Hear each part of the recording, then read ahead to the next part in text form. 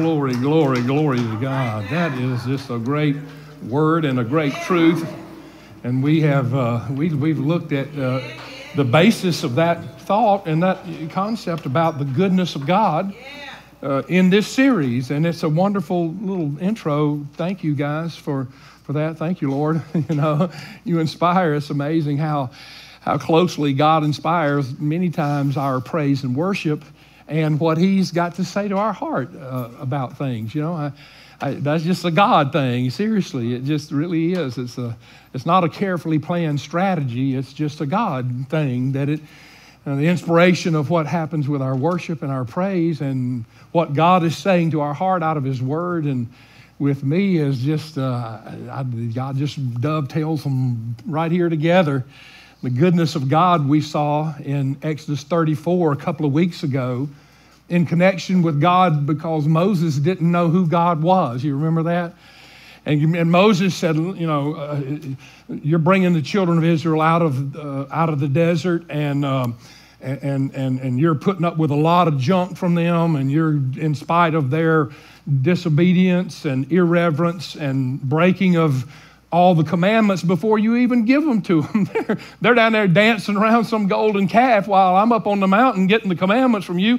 I mean, they're trying to make some golden calf a god, and, and, and I haven't even gotten down off the mountain, and yet you uh, have spared them, so you're going to have to explain to me uh, what I don't understand about this. And God said, All right, you stand over there in the cleft of the rock, and I'm going to put my hand over you because if I don't put my hand over you, my glory is going to annihilate you as, as I pass by uh, my, my glory is going to blow you up. Uh, your flesh can't, can't stand the glory of God. And you stand over there, I'm going to put my hand over you, and I'm going to let my glory pass before you. And when I pass by, I'm going to remove my hand, and you can see the hind parts. You can see the backside of glory. And, uh, and that's exactly what happened. And then uh, as soon as God moved his hand, Moses uh, saw the goodness of God. The verse says, and God let his goodness pass before Moses. And Moses said, there, there are seven attributes to the goodness of God. You remember this? I know some of you may be recalling this that God said, God is merciful, God is uh, gracious, God is long suffering, these are, this is what the, the goodness of God looks like, these seven attributes. This is what the goodness of God is and what it means. And, and, and, and it's, it's, it's mercy and it's gracious and it's long suffering. It's abounding in truth. It's abounding in goodness. It is forgiving and it is just. And those are the seven attributes of the goodness of God. And that's what the goodness of God is made from. And Moses, as soon as he saw that, the Bible said he fell down and he worshiped God. The first time Moses ever worshiped God is because before he knew about God, now he knows God. There's a lot of difference between knowing about God and really knowing God. And what God wants to do in our life is he wants us to know him, to fellowship with him, to be in his presence, to walk with him and let him walk with us because that's what empowers our life. That, that, that's the difference between the life of a Christian and, and the life of other people who try to practice, quote, religious things.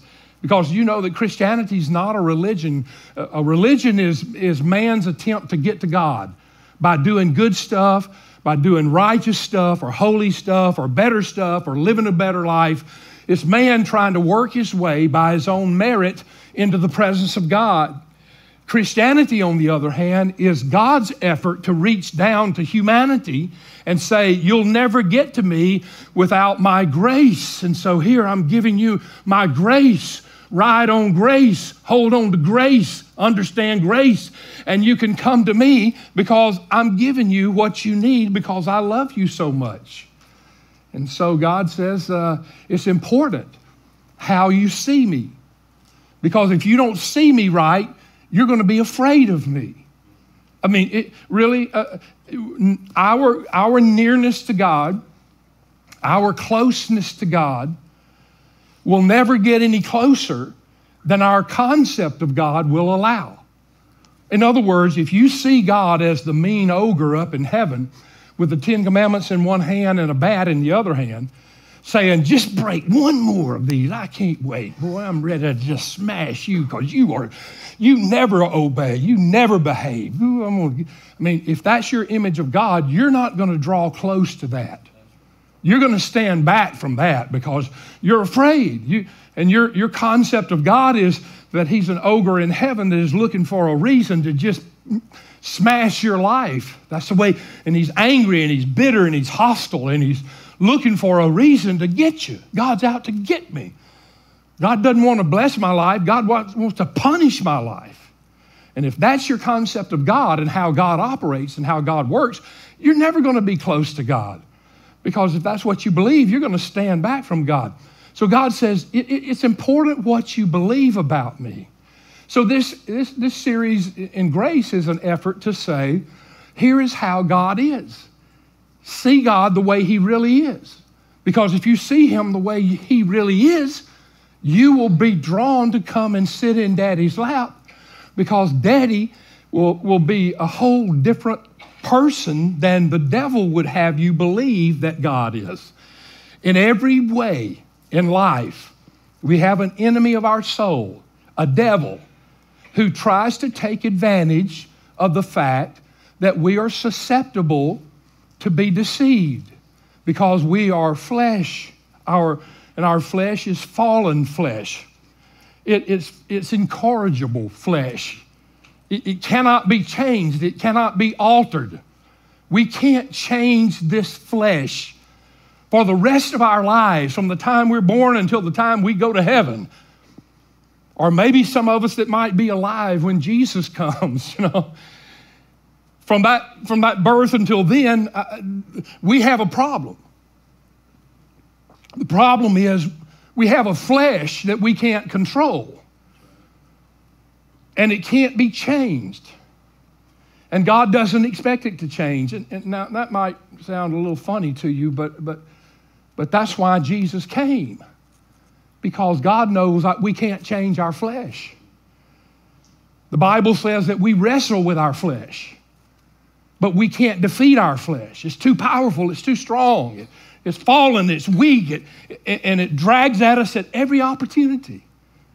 And so Jesus came so that the grace of God can overpower the, the flesh of our lives, and we can become usable by God and close to God. The devil is, is the hurt whisperer. Whenever you hurt, the devil sidles up beside you and says, uh, I told you God didn't like you. I told you he was just looking for a reason to punish you. Hey, listen to me. God hates you. You, he, he wouldn't want to be around you. And if he did, look, look how he's punishing you. And, and the devil just whispers in our ear when we hurt in order to take advantage of our weakness, our concepts. And so we're in constant battle in life as, as the Holy Spirit moves in our life in order to bring us close to God and to walk with God. I mean, God, God doesn't expect us not to sin. He knows us. He knows our flesh. He knows what's going to happen. He knows our fallen nature. And so instead of demanding for us to perform better. Come on, man, can't you do better than that? Can't you be stronger than that? How many times are you going to fall for that trick? My goodness, man, come on. You got probably, you need to get better. You need to be stronger. You need to, you know, can't you do better than that? And we say, no, we can't. That's why we need the grace of God. Because we can't do better than that. And God says, let me bless you by giving you power that can fight this flesh that you live with in life. And today, one of the concepts that I want to share with you as we move on through this grace of God, look at who God really is, is that, is that, that God is the one who works in our life, and it is the grace of God that works in our life to overcome the weaknesses of our life. Let me just take a poll. Let me see if I'm talking to the right crowd. Uh, I'm not going to ask you what they are, but I'm going to just ask you do, Do any of you have any weaknesses that you wrestle with in life? Everybody? And I look around. I mean, just look around at all the hands. Everybody in here, I mean, they have their hands up. Yeah, I, I just want you to see that we all struggle with weakness in life. And you say, well, you know, weakness, what are you talking about? Well, I'm talking about those, those things that so easily beset us. I'm talking about our attitudes, our actions, uh, the strategies of life, the, uh, the, the, the understandings of life, and all of those kind of issues of life. And so God says, let me, let me share with you uh, what I have for you that will, that will change the weaknesses of your life, that will, in, that will bring out the best in you instead of allowing you to become susceptible to the enemy. Because listen, you, you know where Satan works in your life? In the weaknesses of your life. He takes advantage of these weaknesses. This is where he operates. Satan operates in the darkness. You remember the first thing God did in the Bible, the first thing God did in the creation of this earth, it said, and the Spirit of God moved over that vast openness and that darkness. And God said, the first thing God did, God said, and let there be light. And then God did everything He did in the light. God does everything He does in our life in the light. If it's in the darkness, it's the devil.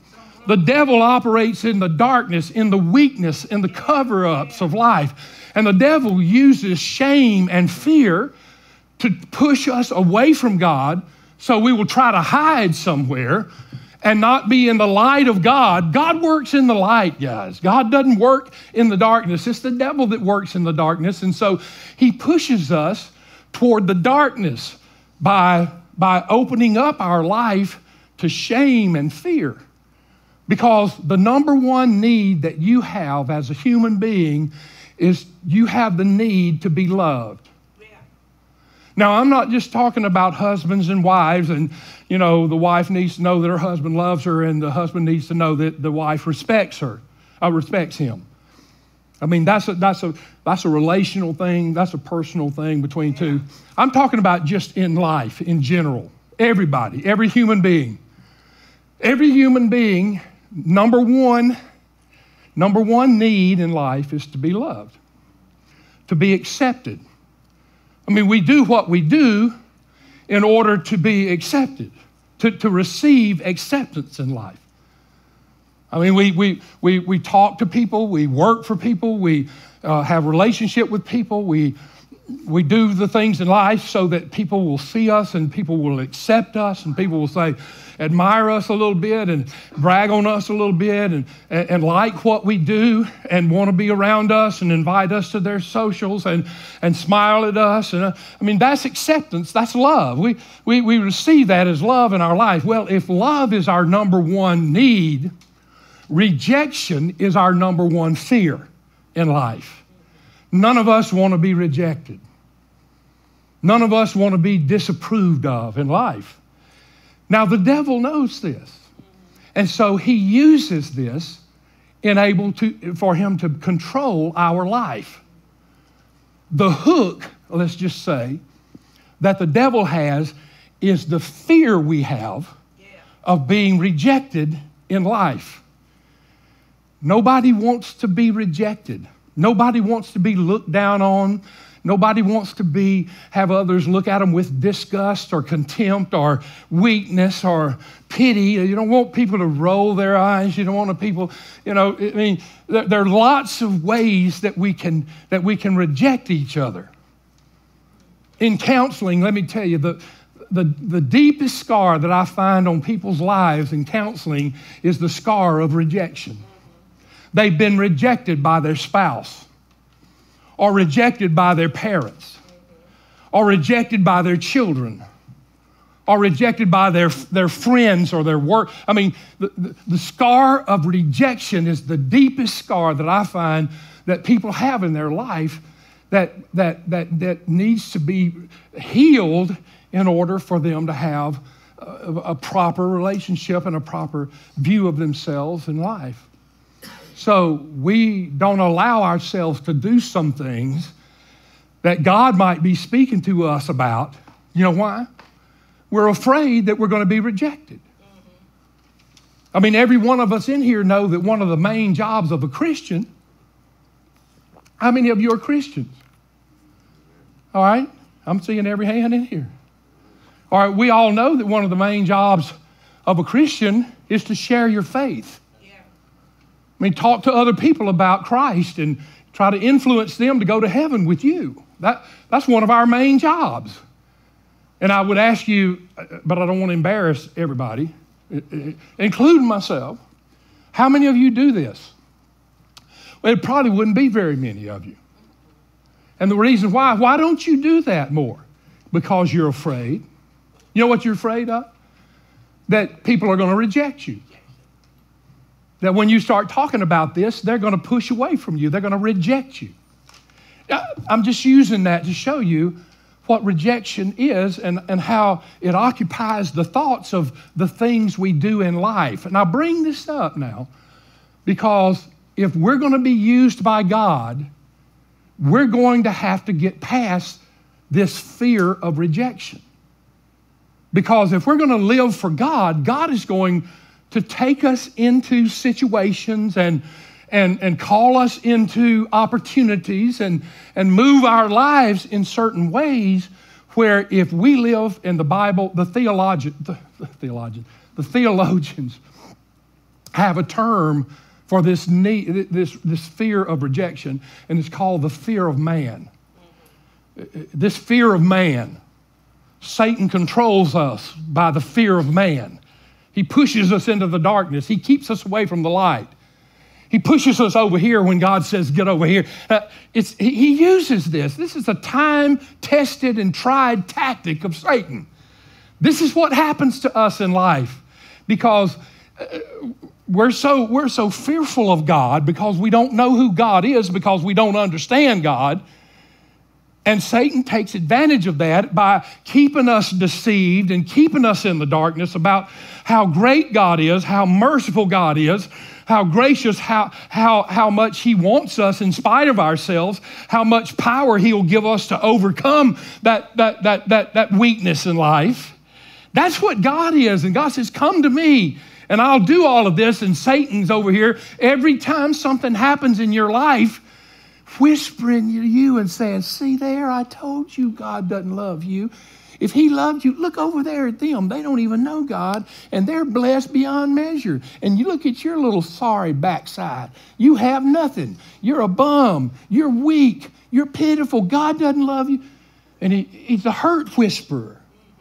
And he does that in order to keep you away from God. And I'm just saying, if you can see God as he really is, that little party by Satan will be over with in your life because you will understand the grace of God and you will run to God instead of running away from God.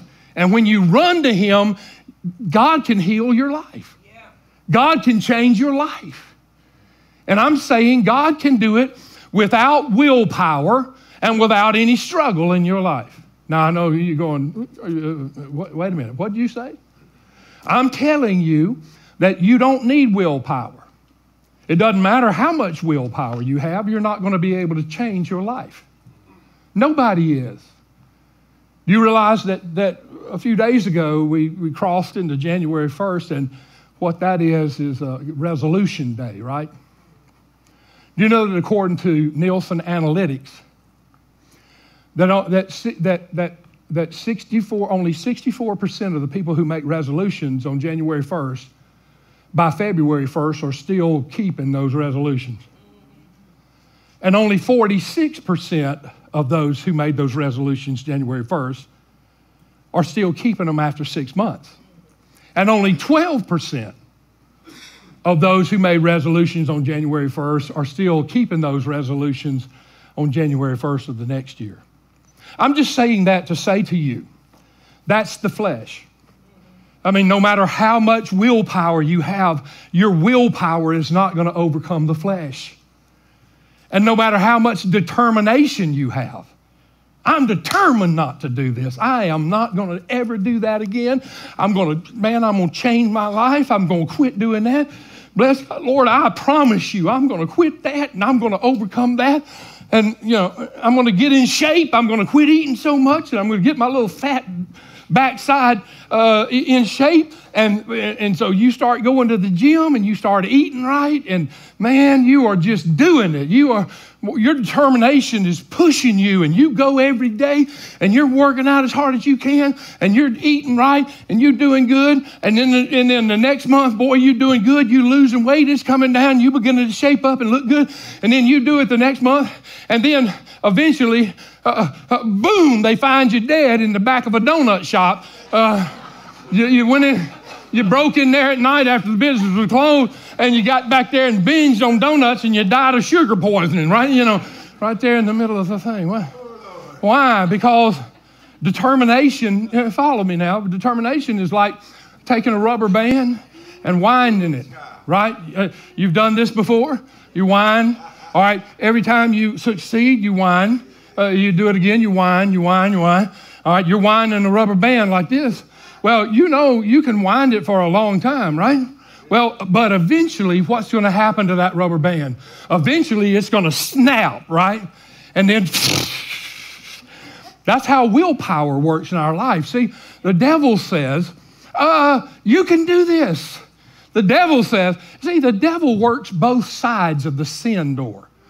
By that I mean, on this side of the sin door, on the come in side of the sin door, the devil says, hey, come on in here. Woo-hoo, this is great, man. You're going to love this.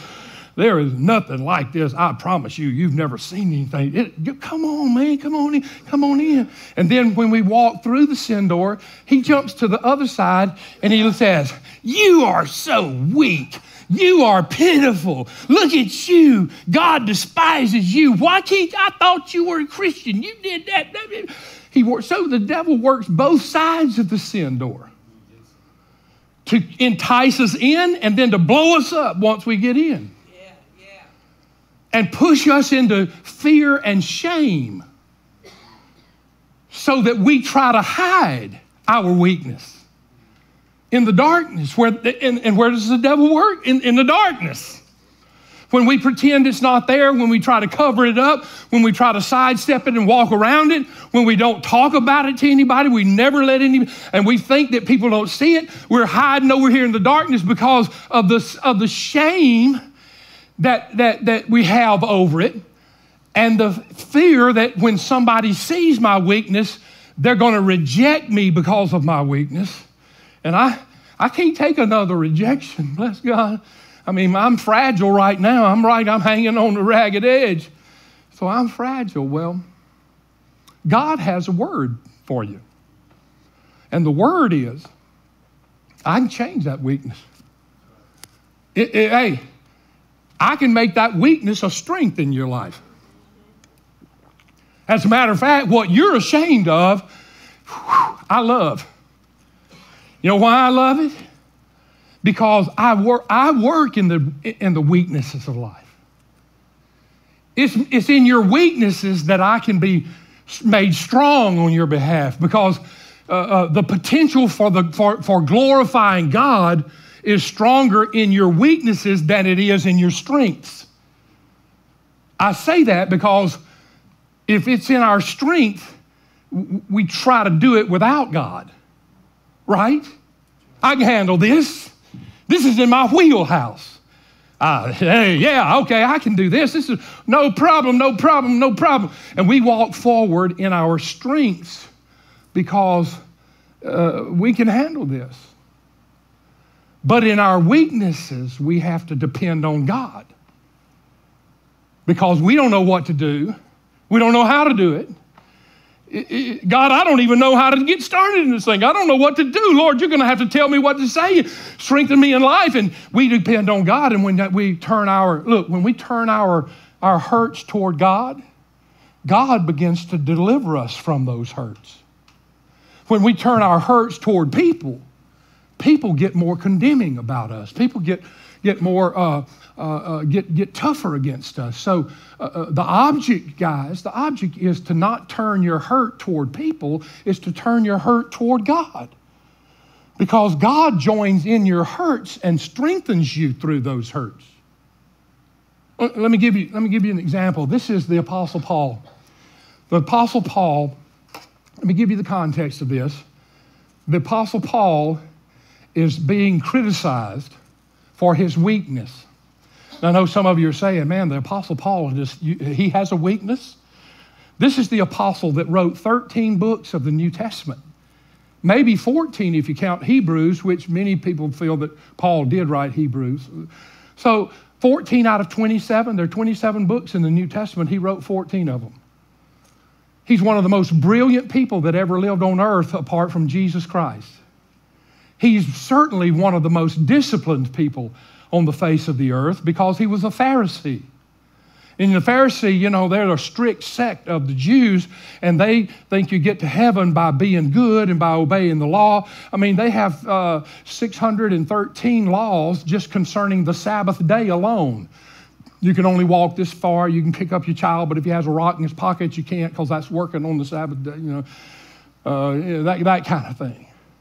So a Pharisee is a disciplined person. And Paul, the Apostle Paul said, I'm not only a Pharisee, I'm a Pharisee of Pharisees. I, I mean, if you think a Pharisee is disciplined, brother, I, am from the tribe of Benjamin. I was, I mean, he was bragging on how Pharisaical he was. So I'm just saying to you that you can't get smarter than Paul and you can't get more disciplined than Paul.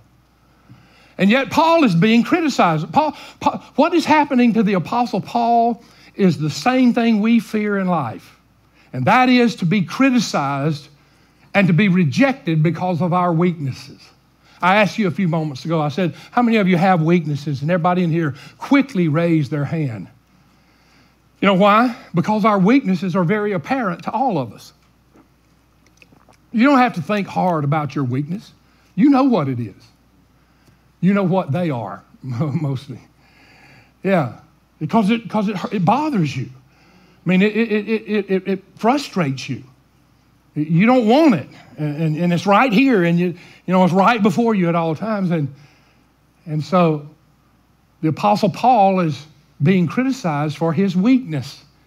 Apparently, some uh, Jewish uh, uh, apostles have been traveling around, and the church at Corinth, which is one of the churches that Paul started, Paul gave his anointing, Paul gave his uh, time, Paul gave his, uh, you know, probably gave him the credit card and said, All right, go down there and buy you some stuff so you can work with in the church. And. I mean, the apostle Paul was the apostle of the church at Corinth but he had to travel because he was starting churches everywhere. And well, in his absence, some other little, some other little uh, half-breed apostles came to that church in Corinth and tried to convince them that the Apostle Paul uh, really wasn't that, what really wasn't much, and, and you should, you know, be, you should let us be your apostle. And, and they began to put down on Paul and criticize Paul about his weaknesses and so forth.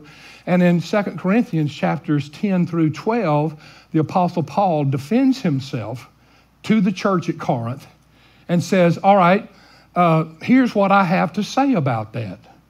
Now, the Apostle Paul knew what they were criticizing him about because he tells them in chapter 10 what he has heard they said about him. What he said that they said in chapter 10, the Apostle Paul says, I know what you're saying about me. You know what they were saying about him? They were saying his, his letters are weighty and determined. In other words, when he writes something to us, it's tremendous. Paul is a writer beyond unbelief. And we know how he wrote because these books that we have in the New Testament are his letters. That's, those are his letters. So the Corinthians were saying, Paul, you know, we know, man, when, when, you, when you write to us, it is unbelievable and you are anointed and it is, oh, but when you come see us, frankly, Paul, I mean, seriously, I'm not trying to hurt your feelings, but, but you're just not very good looking. And, uh, and, and, and, you're a bad talker. Uh, your speech is contemptible. That's the way the King James puts it. Uh, uh you're, you don't need to come down here so often, is what they were saying. Just send a letter, all right? Yeah, yeah. We don't, we don't, we, we would rather you just send a letter because your letters are just wow, but in person you're a dud. Uh, and this is what they were saying about the Apostle Paul. Now, that's hurtful, right? I mean, no matter what, how you look at it, that's hurtful. And so the Apostle Paul is writing to them and saying, Here's my answer to your rejection of me. And this is what we're this is what God is encouraging us all to adopt as the way God can work in us. And let me just read it to you, and, and then we'll, we'll shut it down in a second. All right, this is 2 Corinthians chapter 12, verse 1. It is doubtless not profitable for me to boast. I'll come, uh, I will come to visions and revelations of the Lord. I know a man in Christ who 14 years ago, whether in the body I don't know or whether out of the body I don't know, God knows, such a one was caught up into the third heaven. Now, what Paul's talking about there is you guys know that in Acts 14, the Apostle Paul is stoned to death. Yeah, at Lystra, uh, they, they stoned him to death. Yeah, he was dead. And they drug his dead body out of town. Yeah. And, and left him out of town. And Paul saying, This is what happened when I died. Uh, uh, my spirit was taken up into heaven. And notice what he said in verse 3 And I know such a man, that's him, whether in the body or out of the body, I don't know, God knows. How he was caught up into paradise and heard inexpressible words, which is not lawful for any man to utter. Of such a one I will boast, yet of myself I will not boast except in my infirmities. So the Apostle Paul said, Look, I know a man who, got, who went up to heaven and, got, and God showed him things that are, are inexpressible, uh, who had this tremendous experience with God. And this man could talk about this tremendous experience with God, and everybody else would be put to shame because none of you have been to heaven, have you? So I could really boast in that. That would be something I could pump myself up. Boy, you would say, Whoa, look at Paul, and you would almost worship Paul. But Paul said, That's not what God's about. For though I might desire to boast, I will not be a fool, for I'll speak the truth. But I refrain lest anyone should think of me above what he sees me to be or hears from me. In other words, the Apostle Paul says, You're criticizing me for a weakness, and you say, I don't look good, and my voice is bad. I'm a bad talker. And I'm telling you that there are many things that I could use to defend myself and, and just overpower your objections but God doesn't want me to live that way because He doesn't want your criticism of me to control how I live my life. Paul said, Oh, I could perform for you. I could let your criticism, you say I don't talk good? Well, I could start practicing how I talk and I could get more stately in my presentation and I could get better in my words and I could I could get up here and man, I could become what you wanted me to become so you wouldn't reject me anymore. I could live my life that way because I would allow your rejection of me to control how I live my life. But the Holy Spirit has a word for me and a word through me, and the way I work is the way God leads, so I'm not changing my performance in order to please you in life. Now, that's what Paul's saying here. And lest I should be exalted above measure by the abundance of the revelations, in other words, so that I wouldn't get too big for my britches, Paul said, A thorn in the flesh was given to me a messenger of Satan to buffet me, lest I be exalted above measure. Concerning this thing, I pleaded with the Lord three times that it might depart from me. And he said to me, My grace is sufficient for you, for my strength is made perfect in weakness. Therefore, most gladly, I will rather boast in my infirmities that the power of Christ may rest upon me. Therefore, I take pleasure in infirmities, in reproaches, in needs, in persecutions, in distresses for Christ's sake. For when I am weak, then I'm strong. That's the attitude of life. That's the attitude the Apostle Paul had when he went to the Holy Spirit and, and placed his, his weaknesses, his criticism, the criticism of him, turned it toward God. And God said, you know, you know what I'm going to do with your weakness? I'm going to make it your strength. The very thing that you think is the weakest thing in your life, when you turn it toward me, I'm going to take that weakness and I'm going to make it the strongest thing in your life. Because you know what I do with weakness? I love weakness, God says. God says, I, the devil says to you, uh, uh God is repulsed by your weakness. The devil says, uh, uh, God doesn't want you. You're, you're, pitiful. You're a stinking mess, man. Uh, get out of here. God, God, holds, God holds his nose. God said, Get out of here. You're weak. Why can't you be stronger? Why can't you be bolder? Why can't you be a better person in life? But God says just the opposite. God said, You know what? Uh, uh, your weakness and my strength uh, match each other perfectly. Give me your weakness because it's in your weakness that I'm made strong in your life. And I love weaknesses. Just turn them around to me, man. That's all. Don't hide them, turn them toward me. And the Apostle Paul here is basically saying, I'm not hiding my weakness. I, matter of fact, you know, you, you, you, you said I'm a, a poor talker and, I don't, and I'm not pretty, I, I don't, I'm not attractive. Uh, you know what? I agree with you. That's what he's saying. I, I agree with you. And what that means is, in order for us to be changed, we have to expose our weaknesses in life to God, not try to hide them. If you try to hide them, they're never going to get, they're never going to change. They're never going to get better. They're going to push you into darkness and shame, and, and you're going to stay there. But if you will expose them to the light, to God, He says, I can do something with that. So, where are you this morning? I mean, is that something that God's dealing with you in your life? I know, you know, in 2020 is a good thing, right? 2020, 2020 vision, right? 2020 vision's perfect vision, right? Now, I know most of us, you know, we've been to the eye doctor, and some of you got 2020, and some of you have 2015 and 20, whatever. But 2020 is perfect, right? So we're going to think 2020 is going to be God's vision, right? All right. It's perfect vision, it's God's vision. And I think this year is going to be a perfect thing from God. I think God's going to expose a lot of a lot of truth to us this year that's going to affect our lives. And the first truth is that look, in your weakness, God can be made strong if you will turn your weakness toward Him and let Him make the difference in your life. There's a big difference between the way people look at weakness and the way God looks at weakness. People look at weakness and think it's an inability. They say, you know what your weakness does, Paul? Your weakness makes you a dud. God looks at your weakness and God says, you know what I see when I see weakness? I see this is something that could be made into your strength. This could be, this could be the greatest thing in your life if you will just allow me to use you through this.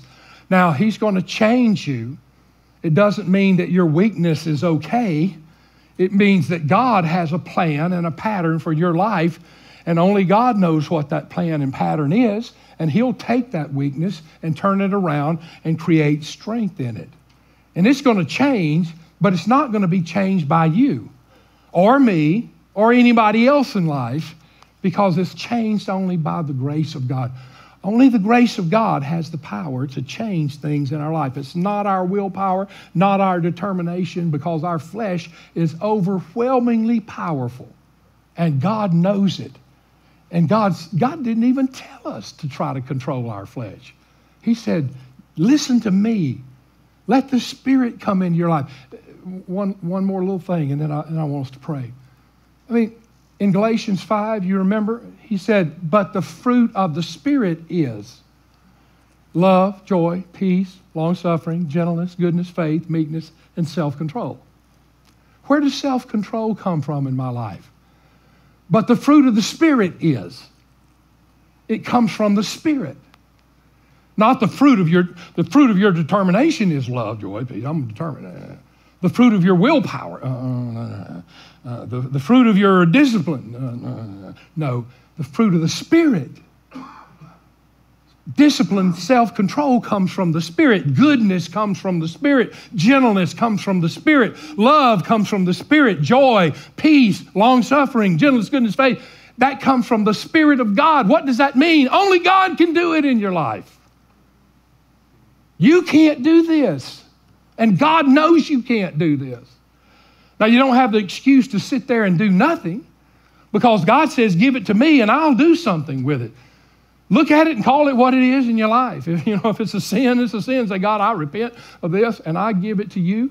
And Lord, I, I, I just turn it over because I don't, I don't know what to do with this. It's beyond my control. I told you the way I've learned to pray now is every day just tell the Lord many times a day, actually. Every time I pray, actually, I say, God, I'm just a child. I, I don't know what to do here. I don't know how to do this. I, I, I can't, I, I, I've, I've tried several things and I, I can't seem to have any effect on this in my, in my own life. I can't, make, I can't get these people to act right. I can't get that to work right. I can't get this to do right. Lord, it, it, it, here it is. It's yours. Uh, come on, uh, Daddy, I got to have some help here. This is, this is yours. And God says, Oh, I love it when you do that because Daddy can take care of it because He is magnificent, guys, and He loves you beyond your understanding. And He will do these things. Everything about God says that. Cast all your burdens on me, for I care for you. My burden is easy. My yoke is easy, and my burden is life, light. You know, let, let, let me do this. Let me work in this. And God will do it. All right, bow your head with me.